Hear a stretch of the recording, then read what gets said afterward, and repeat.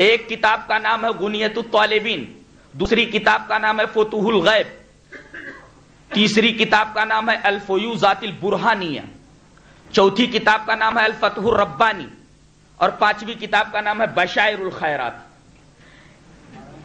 ये पाँच किताबें ज़िंदगी में आपने लिखी और इनमें से दो बहुत मशहूर हुई। और दुनिया की तमाम ज़िंदा जबानों में इसका तर्जमा मौजूद है, उर्दू में भी उन दोनों किताबों का तर्जमा हमारे दरमियान मौजूद है। वो दोनों किताबें कौन कौन सी हैं, जिनका तर्जमा दुनिया की तमाम ज़िंदा जबानों में हो चुका है और उर्दू में भी उनका तर्जमा मौजूद है। गुनियत है और फतुहुल गैब। जिस तरह अंबिया कराम का तरीका होता है कि जब वो अपनी उम्मत की तरफ़ मबूस किए जाते हैं, भेजे जाते हैं तो सबसे पहला दर्श वो अपनी उम्मत के सामने तकवा और तोहीद का रखते हैं। बल्कि यूँ कह लीजिए आप कि सबसे पहले वो तोहीद ही का दर्श देते हैं। अल्लाह तबारक वाली ने इस सिलसिले में एक जाबता, एक कायदा बता दिया है। वमा अरसलना मिन कबल कमिर रसूल इल्ला नूही इलैहि अन्नहु ला इलाहा इल्ला फअबुदून ऐ हमारे रसूल, हमने आपसे पहले जितने रसूल इस दुनिया में उनकी उम्मतों की तरफ़ भेजे, हर एक से यह कहा कि सबसे पहले तुम अपनी उम्मत के सामने तौहीद का दर्श रखो, उनसे यह कहो कि तौहीद अपनी मज़बूत करें, सिर्फ़ और सिर्फ़ अल्लाह की इबादत करें। चुनानचे हम देखते हैं कि हज़रत नूह सलाम को जब उनकी उम्मत की तरफ़ भेजा गया तो सबसे पहले उन्होंने तोहीद ही का दर्श रखा। अल्लाह फरमाता है सूर्य हूद में, वलकद अरसलना नूहन इला कौमिही इन्नी लकुम नज़ीरुम मुबीन अल्लाह अलीम। और तहकीक के हमने नूह को उनकी कौम की तरफ़ भेजा तो उन्होंने आकर के ये कहा कि, ए मेरी कौम, मैं तुम्हारे लिए खुला हुआ डराने वाला हूँ। तो अल्लाह ताबुदू इल्लल्लाह। तो तुम क्यों डायरेक्शन दे रहे हो भाई सब एक तरफ़ से? क्यों परेशान कर रहे हो भाई? जो आदमी जा रहा है उसे जाने दीजिए। सब लोग डायरेक्शन मत दो। अल्लाह ताबुदू इल्लल्लाह। उन्होंने ये कहा कि तुम लोग अल्लाह के अलावा किसी की इबादत न करो। बेशक मैं दर्दनाक दिन के अजाब से डरता हूँ। ये आयत बता रही है कि हज़रत नूह सलाम ने सबसे पहला दर्स जो अपनी उम्मत के सामने रखा, वो तोहीद ही का दर्स था। इसी तरह हम हज़रत हूद को देखते हैं। उन्होंने अपनी कौम कौम आद के सामने जो दर्स रखा, सबसे पहला दर्स दर्स तोहीद था। अल्लाह फरमाता है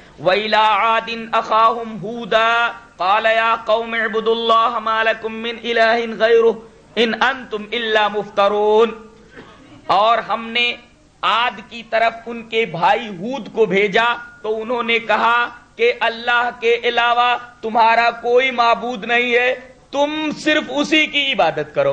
हज़रत हूद ने भी अपनी कौम आद के सामने पहला दर्श दर्श तोहीद ही रखा।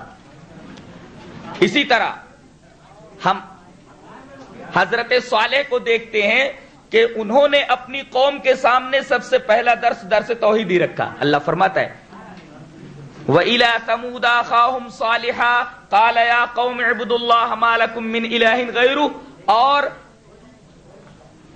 समूद की तरफ़ उनके भाई साले सलाम को भेजा गया उन्होंने कहा कि अल्लाह के अलावा तुम्हारा कोई माबूद नहीं गोया कि हज़रत साले सलाम ने अपनी कौम समूद के सामने सबसे पहला दर्श दर्श तोहिदी रखा हज़रत शुएब सलाम को देखिए अल्लाह फरमाता है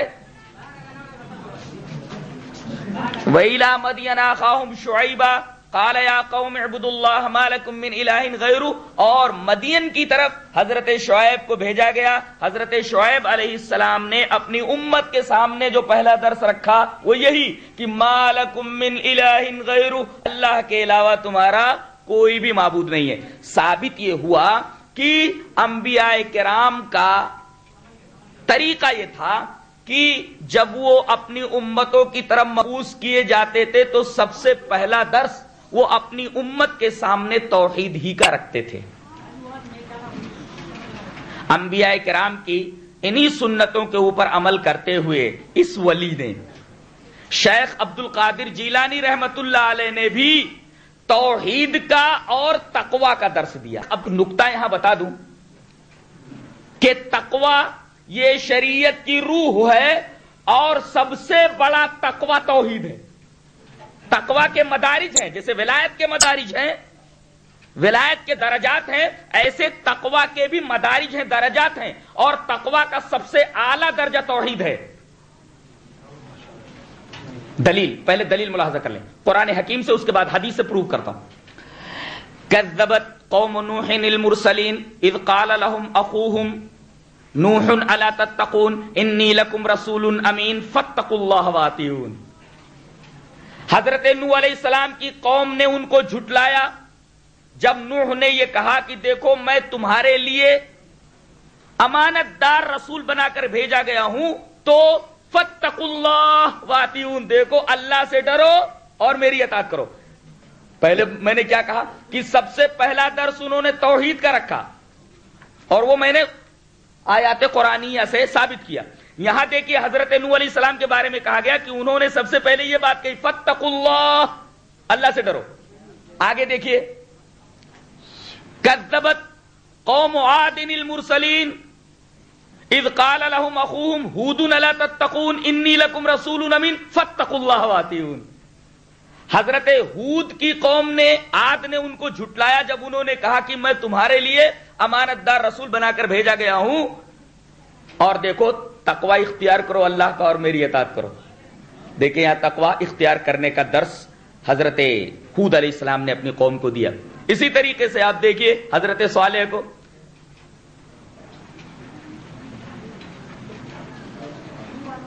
उन्होंने भी यही दर्श रखा।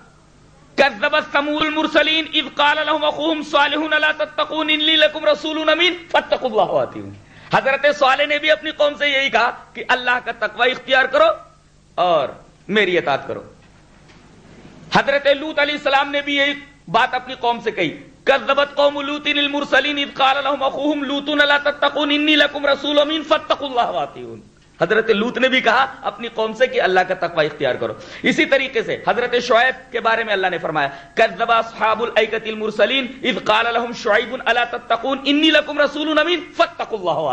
हज़रत शुएब ने भी यही कहा कि अल्लाह का तकवा इख्तियार करो और मेरी इताअत करो। इससे पता चलता है कि तकवा और तौहीद दोनों एक ही चीज़ें हैं, लेकिन तकवा का सबसे आला दर्जा तौहीद है।